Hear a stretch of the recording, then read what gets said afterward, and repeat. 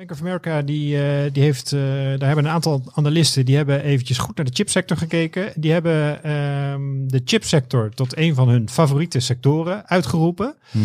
Daar hebben ze een heel rapport over geschreven. En ehm, hun favoriete large cap chip aandeel op de Europese markt is eh, ASMI, een Nederlands bedrijf. Mhm. En op de small en mid-cap markt is het Bezi.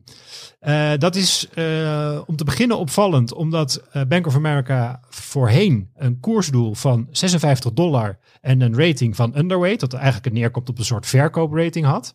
Ja. En dus nu is gedraaid van underweight naar favoriet in, in de sector voor, bij de small en midcaps. En het koersdoel heeft verhoogd van die 56 naar maar liefst 160 eh, euro. Ja, ja, echt, ja.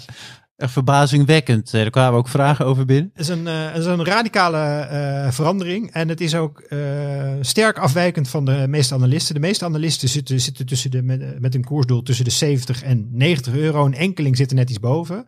Ehm, het aandeel staat na de flinke run van de afgelopen dagen nu iets boven de 80. Maar, maar dan nog is die 160 dus eh, aanmerkelijk eh, eh, hoger.